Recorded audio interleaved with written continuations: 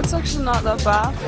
Um, I just make it fun and I hang out with the girls that I like backstage and we try to get a drink at night and a big steak and just chill.